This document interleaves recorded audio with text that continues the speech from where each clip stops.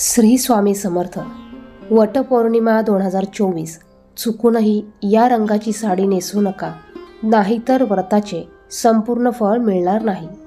पतीच्या दीर्घायुष्यासाठी तसेच अखंड सौभाग्यासाठी महिला दरवर्षी वटसावित्री व्रत करतात. हिंदू धर्मात वटसावित्री व्रत याला विशेष महत्त्व आहे. यावर्षी एकवीस जून रोजी शुक्रवारी वटपौर्णिमेचा उपवास करण्यात येणार आहे. हिंदू दिनदर्शिकेनुसार दरवर्षी ज्येष्ठ महिन्यातील पौर्णिमेला वटसावित्री व्रत पाळले जाते. पण काही ठिकाणी ज्येष्ठ महिन्यातील कृष्ण पक्षातील अमावस्येला वटपौर्णिमेचा उपवास पाळला जातो.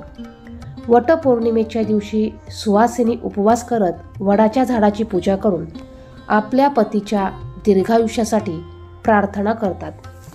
वटपौर्णिमेच्या दिवशी वडाची पूजा केल्याने अखंड सौभाग्यासह जीवनात अपार सुख आणि संपत्ती देखील प्राप्त होते.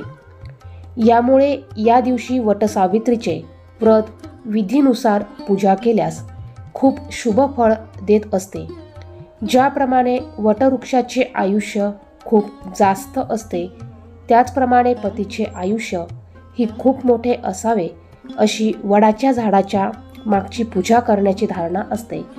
तर वटसावित्री व्रत एकवीस जूनला सकाळी सात वाजून एकतीस मिनिटांनी सुरू होईल. तर ही पौर्णिमा समाप्ती बावीस जूनला संध्याकाळी पाच वाजून सदोतीस मिनिटांनी संपेल. अशा स्थितीमध्ये आपल्याला वटपौर्णिमेचं व्रत एकवीस जूनला शुक्रवारीच करायचं आहे. तर वटपौर्णिमेच्या दिवशी आपण कोणत्या शुभ रंगाच्या साड्या घालाव्यात? तसेच कोणता एक रंग आहे की जो रंग आपण चुकू नये परिधान करू नये याबद्दलची सर्व माहिती आपण आज या व्हिडिओमधून जाणून घेणार आहोत. त्यापूर्वी तुम्ही चॅनेलवरती नवीन असाल तर चॅनेलला लाईक करा आणि सबस्क्राईब देखील करा. कमेंटमध्ये श्री स्वामी समर्थ लिहायला विसरू नका. प्रत्येक महिला वटपौर्णिमेला नवीन साडी ही खरेदी करत असते. किंवा काही महिला अगोदरच्या साड्या देखील घालतात. पण आपण जेव्हा अगोदरच्या साड्या घालत असतो तेव्हा देखील आपल्याला काही गोष्टींची काळजी घेणे गरजेचे आहे. म्हणजे जी साडी तुम्ही मासिक धर्मामध्ये वापरली असेल ती वटसावित्रीच्या पूजेच्या वेळेस घालायची नाही किंवा एखादा सुतक असेल अशा काळामध्ये जर तुम्ही एखादी साडी घातलेली असेल तर ती देखील तुम्ही वटपौर्णिमेच्या पूजेच्या दिवशी घालायचे नाही. आता आपण जाणून घेऊयात की कोणते असे पाच शुभ रंग आहेत की जे आपण वटपौर्णिमेच्या दिवशी घालू शकतो. तर पहिला रंग आहे तो म्हणजे लाल. लाल रंग हिंदू धर्मानुसार लाल रंग हिंदू धर्मानुसार उत्साह सौभाग्य उमंग धैर्य आणि नवीन जीवनाची जीवनाची प्रतीक आहे. लाल रंग तीव्रतेचे देखील प्रतीक आहे. हा लाल रंग अग्नी आणि मंगळ ग्रहाचा देखील रंग आहे. देवी लक्ष्मीला देखील लाल रंग आवडतो. महालक्ष्मी लाल वस्त्र परिधान करते आणि लाल कंबळावर विराजित असते. रामभक्त हनुमानाला देखील लाल व शेंद्री रंग प्रिय आहे. याच कारणामुळे भक्त हनुमानाला शेंदूर अर्पित करतात. मा दुर्गाच्या मंदिरात आपल्याला लाल रंगाचा वापर अधिक दिसून येतो. तसेच हा रंग चिरंतर सनातनी आणि पुनर्जन्म जन्माच्या संकल्पना सांगतो. लग्नात देखील लाल रंगाचा वापर अधिक दिसून येतो कारण हा रंग मंगल कार्यात शुभ मानला जातो. आयुष्यातील प्रगतीशी संबंधित हा लाल रंग आहे. मग आपण वटपौर्णिमेच्या दिवशी लाल रंगाची साडी घालू शकता. तसेच लाल रंगाच्या बांगड्या किंवा हिरव्या रंगाच्या बांगड्या तुम्ही परिधान करू शकतात. आपण मॅचिंगच्या काळामध्ये भरपूर गोष्टी मॅचिंग मॅचिंग करत असतो. पण शक्यतो तरी वटपौर्णिमेच्या दिवशी तुम्ही लाल किंवा हिरवा रंगाच्या बांगड्या घाला. दुसऱ्या रंगाच्या बांगड्या म्हणजेच काळा रंग असेल. तर त्या रंगाच्या बांगड्या आपण वटपौर्णिमेच्या दिवशी चुकूनही घालायच्या नाहीत. तसेच दुसरा रंग आहे हिरवा. आपण हिरव्या रंगाच्या बांगड्या देखील घालू शकतात. हिरवा रंग हा बुधग्रहाचे प्रतिनिधित्व करतो. बुद्धीचा कारक असलेला हा रंग व्यापार रंगभूमी तसेच सिनेमा या क्षेत्रात यश मिळवून देत हिरवा रंग हा एकांताचा निदर्शक आहे. सर्वसामान्यपणे हिरवा रंग. आवडणारी माणसं निसर्गप्रेमी स्वप्नाळू असतील आणि आपल्याच मनाप्रमाणे वागणारी आणि आपल्या तांत्रित राहणारी आणि तरीही बुद्धीप्रमाणे ज्ञानी असतात. शास्त्रातही हिरव्या रंगाला महत्त्व आहे. तो शुभ आणि सौभाग्य प्राप्तीचे प्रतीक देखील मानला जातो. जशी हिरवी साडी बांगड्यांचा हिरवा चुडा त्यानंतर तिसरा रंग आहे तो म्हणजे गुलाबी. गुलाबी रंग प्रत्येक महिलेकडे गुलाबी रंगाची साडी असते आणि प्रत्येक महिलेला गुलाबी रंग हा आवडतो. पण आता असे झाले आहे की प्रत्येक महिलेच्या कपाटामध्ये गुलाबी रंगात एकापेक्षा जास्त साड्या आहेत. तुम्ही गुलाबी रंगाची साडी देखील वटपौर्णिमेला घालू शकतात. गुलाबी रंग हा प्रेमाची भावना किंवा नम्रपणा दर्शवतो. गुलाबी रंग हा स्त्रियांशी निगडित आहे. गुलाबी रंग हा आनंदाचे प्रतीक आहे. गुलाबी रंग बघितल्यानंतर त्यांना शांत आणि समस्या नसलेल्या आयुष्यात जाणवतं. तर गुलाबी रंगामुळे एकटेपणा कधी जाणवत नाही. असेही काही लोक सांगतात गुलाबी रंग नेहमी तुम्हाला तुम्ही कलाकार आहात आणि सर्जनशील आहात असा भास करून देतात. त्यानंतर आहे चौथा रंग तो म्हणजे केशरी रंग. असे म्हटले जाते की भगवा रंग ज्ञान त्याग शौर्य पवित्रता आणि सेवा यांचे प्रतीक आहे. जय हिंदू धर्माच्या मूलभूत घटकांपैकी एक आहेत.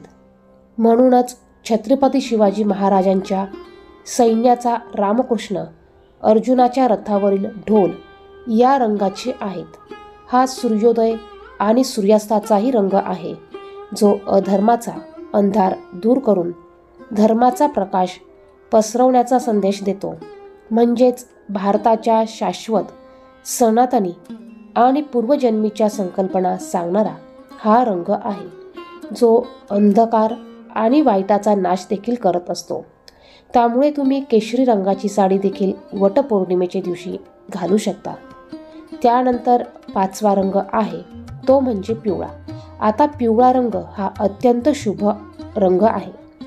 पिवळा रंग जर आपण वटपौर्णिमेच्या दिवशी परिधान केला तर आपल्याला भगवान विष्णूंचा देखील आशीर्वाद प्राप्त होतो. भगवान विष्णूंना पिवळा रंग हा अत्यंत प्रिय आहे. तसेच पिवळ्या रंगामुळे आपला गुरुग्रह देखील बळकट होतो. वास्तुशास्त्रानुसार पिवळा रंग अहिंसा प्रेम आनंद आणि ज्ञानाची प्रतीक मानले जाते. शास्त्रानुसार हा रंग सौंदर्य आणि आध्यात्मिकते देखील वाढवतो. विशेषतः आपण हा रंग जर गुरुवारी परिधान केला तर आपल्याला त्याचे खूप म्हणजे खूप चांगले परिणाम देखील बघायला मिळतात. मग वटपौर्णिमेच्या दिवशी देखील मी पिवळा रंग हा परिधान करू शकतात. आता हे झालेत पाच शुभ रंग. तुम्ही या पाच शुभ रंगांपैकी कोणत्याही रंगाची साडी घालू शकतात. आणि त्यानंतर जे काही उरलेले रंग आहेत त्यामध्ये आकाशी रंग असेल जांभळा रंग असेल तर त्या रंगाची देखील साडी आपण घालू शकतात. फक्त असे रंग आहेत त्या रंगाची साडी आपल्याला घालायची नाही. त्यामध्ये महत्त्वाचा म्हणजे काळा रंग. काळ्या रंगाची साडी आपण वटपौर्णिमेच्या दिवशी चुकू नाही. घालायची नाही किंवा तुमची एखादी अगदी लाल रंगाची साडी असेल आणि तिच्यावरती काळ्या रंगाच्या छटा असतील तर अशी साडी देखील आपण घालायची नाही. तसेच एखाद्या साडीवर काळा ब्लाऊज हा मॅचिंग होत असेल तर असा ब्लाऊज देखील आपण घालायचा नाही. काळ्या रंगाच्या बांगड्या देखील घालायच्या नाही आणि काळ्या रंगाची टिकली देखील आपण वटपौर्णिमेच्या दिवशी लावायची नाही.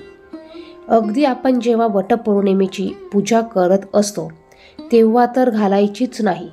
पण घरी आल्यानंतर देखील तुम्ही जे घरामध्ये कपडे घालत असतात तेव्हा देखील आपण काळ्या रंगाचे कपडे हे घालायचे नाही. जेव्हा एखादा शुभ कार्य असतं जेव्हा एखादं शुभ कार्य असतं तेव्हा आपण काळा रंग हा वर्ज्य करत असतो. त्याचप्रमाणे आपल्याला वटपौर्णिमेच्या दिवशी देखील काळा रंग घालायचा नाही. कारण की काळा रंग हा नकारात्मकता दर्शवत असतो. आणि काळ्या रंगाकडे नकारात्मकता घेतली जाते खेचून घेतली जाते. तसेच दुसरा रंग आपल्याला परिधान करायचा नाही तो म्हणजे सफेद रंग. तर सफेद रंग हा विधवा महिला वापरत असतात. आणि वटपौर्णिमेचा दिवस म्हणजे सुवासिनींचा दिवस असतो. तरी आपण या दिवशी सफेद रंगाची साडी घालायची नाही. तसेच सफेद रंगाच्या बांगड्या किंवा सफेद रंगाचा ब्लाऊज देखील आपण वटपौर्णिमेच्या दिवशी घालायचा नाही. त्यानंतर आता तिसरा रंग म्हणजे तो म्हणजे गडद निळा. जो गडद निळा रंग आहे तो देखील आपण घालायचा नाही. निळा रंग घालू शकतात पण जो डार्क निळ्या रंगाचा आहे तो आपल्याला वटपौर्णिमेच्या दिवशी चुकूनही घालायचा नाही. किंवा त्या रंगाच्या बांगड्या त्या रंगाची टिकली देखील आपण वटपौर्णिमेच्या दिवशी परिधान करायची नाही.